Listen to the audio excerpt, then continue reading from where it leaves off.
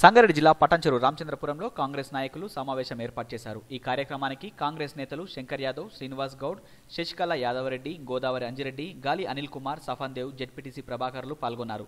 అనంతరం వారు మాట్లాడుతూ కాంగ్రెస్ పార్టీలో ఎవరికి టికెట్ ఇచ్చినా వారికి సంపూర్ణంగా మద్దతిచ్చి గెలిపించుకుంటామని కలిసికట్టుగా విజయం సాధిస్తామని మా విజయాన్ని ఎవరు ఆపలేరని కాంగ్రెస్ జెండా ఎగిరేస్తామని వారు తెలిపారు. కావాలని మాలో మాకు గ్రూపు తగాదాలు ఏర్పాటు చేసి రాజకీయ లబ్ధి కోసం టీఆర్ఎస్ చూస్తుందని మేము ఐక్యంగానే ఉంటామని పటాన్చెరులో కాంగ్రెస్ జెండా నిలబెడతామన్నారు.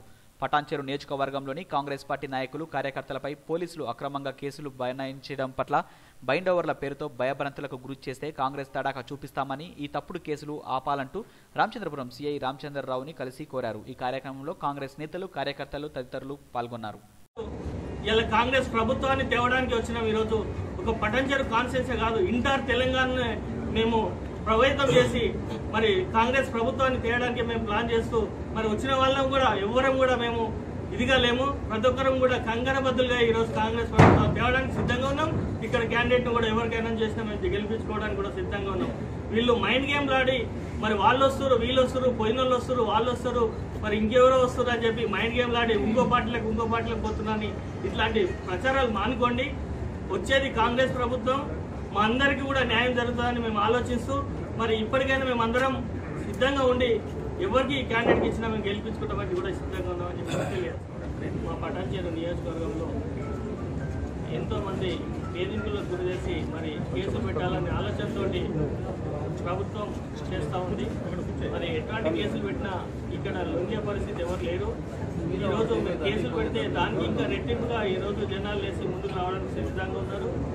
మరి ఈరోజు భయభ్రాంతులకు గురి చేస్తున్న స్టూడెంట్ను అంటే రాబోయే రోజుల్లో కాంగ్రెస్ ప్రపంచం ఉంది కాబట్టే మీరు భయపడి ఈరోజు అధికారులను చేతులకు తీసుకొని వాళ్ళ వైపు తిప్పుకోవాలని చెప్పి మరి ప్రజల్ని భయభ్రాంతులకు గురి చేయాలని చెప్పి ఆలోచనతోటి ముందుకు వచ్చారు కాబట్టి మీకు ఖచ్చితంగా జనాలే బుద్ధి చెప్తారు. రాబోయే రోజు ఏడో తారీఖు నాడు ఖచ్చితంగా ఏ రకంగా బుద్ధి చెప్పాలనో ఆ రకంగా ఫామ్ హౌస్కే పరిమితమైనట్టు చేస్తారని చెప్పి కూడా ఈ సందర్భంగా తెలియజేస్తున్నా ఇక్కడ స్థానిక ఎమ్మెల్యే గారు అతని మీద ఎన్నో కేసులు ఉన్నాయి. ఆయన ఫ్యామిలీ మీద ఎన్నో కేసులు ఉన్నాయి. మరి ముందుగా ఆయనను అరెస్ట్ చేయాలి ఆయనను బయట వరకు కేసులు చేయాలి. అవన్నీ చేయకుండా జనాల మీదకి వచ్చి ఎవరి మీద ఒక కేసు లేకుండా అట్లాంటి వ్యక్తిని వ్యక్తులను ఈరోజు బయట వరకు కేసులు అని చెప్పి ముందుకు వస్తూ ఉన్నారు. కానీ ఈరోజు పటాన్చేరు నియోజకవర్గంలో పుట్టగతులు లేకుండా డిపాజిట్లు లేకుండా కూడా గల్లంత రోజులు వస్తున్నాయి. మరి ఇక్కడ వేదిక మీద ఉన్నాం. మేము ఎంతమంది ఉన్నామో అందరం కూడా కలిసికట్టుగా ఉండి రేపు ఎవరికి టికెట్ వచ్చినా ఖచ్చితంగా భారీ మెజార్టీ తోటి మేము గెలిపిస్తామని చెప్పి కూడా ఈ సందర్భంగా తెలియజేస్తా ఉన్నాం. ఏదైతే కేసీఆర్ ప్రవర్తిస్తుండో మరి ఆ రోజు సోనియా గాంధీనే మోసం చేసిన తెలంగాణ ఇచ్చిన సోనియా గాంధీనే నీ పార్టీ నా టీఆర్ఎస్ పార్టీనే మెచ్ చేస్తాన్నాడు. మరి ఈ రోజు ఉద్యమకారులను కూడా ఇక్కడ మోసం చేసి ఎవరిని కూడా ఇచ్చేసి లేదు ఓన్లీ నీ ఫ్యామిలీ మట్టుకే నువ్వు బాగుపడ్డావు కాబట్టి ఈ రోజు ప్రతి ఒక్కరికి అవగాహన వచ్చింది.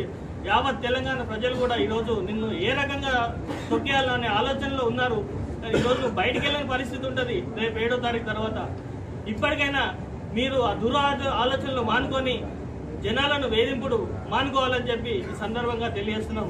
మరి ఈ పటాన్చెరు నియోజకవర్గం నుంచి మొట్టమొదటిగా కాంగ్రెస్ జెండా ఎగరేస్తామని చెప్పి కూడా ఈ సందర్భంగా తెలియజేస్తూ మరి తెలంగాణ రాష్ట్రం ఇచ్చింది కాంగ్రెస్ పార్టీ సోనియా గాంధీ.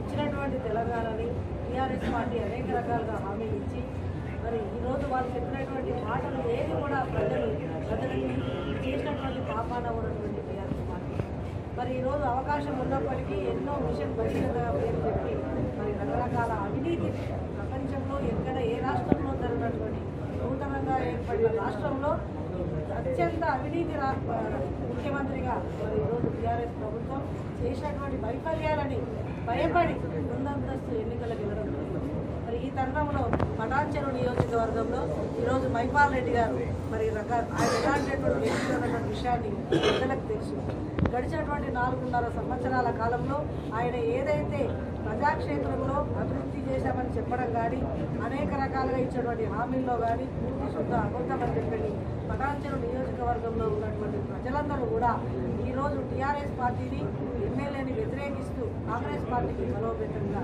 మరి అనేక మంది కాంగ్రెస్ పార్టీలో చేరే అవకాశాలు ఉన్నాయి.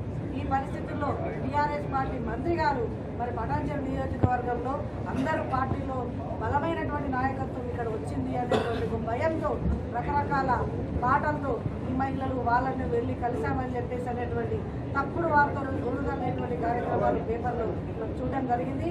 ఈ వేదిక ద్వారా పత్రిక ద్వారా ఒకటే మేము విన్నవించుకుంటున్నాం. ఎక్కడ కూడా టీఆర్ఎస్ పార్టీ కోసం వెళ్ళి మేము మాట్లాడే పరిస్థితులు కానీ వాళ్ళను వాళ్ళ కోసం ఇచ్చేటువంటి అవసరం కానీ కర్మ కానీ ఉన్నటువంటి కాంగ్రెస్ పార్టీ నాయకులకు ఎవరికి లేదు. ఈరోజు టీఆర్ఎస్ పార్టీని ఓటమినే మేము ఘనంగా పెట్టేసి ముందస్తుగా ప్రజలకు వెళ్ళేటువంటి కార్యక్రమాలు చేపట్టాం. ఈరోజు మరి ఈ మధ్యలో కలిసినటువంటి మరి టీఆర్ఎస్ నుంచి కాంగ్రెస్ పార్టీలోకి వచ్చినటువంటి నాయకులు అందరం కూడా ఈ వేదిక పైనటువంటి అందరం కూడా సమిష్టి నిర్ణయంతో కాంగ్రెస్ పార్టీ ఇప్పటి వరకు అభ్యర్థులను నిర్ణయించలేదు. నిర్ణయించినటువంటి అభ్యర్థికి అందరం కూడా కలిసికట్టుగా ఈ కూటమిలో చర్చలన్నీ పూర్తయిన తర్వాత ప్రతి ఒక్కరు సమిష్టిగా గ్రామ గ్రామాల ఇచ్చినటువంటి కాంగ్రెస్ పార్టీ అభ్యర్థి గెలుపు కోసం కృషి చేస్తామని చెప్పేసి తెలియజేస్తూ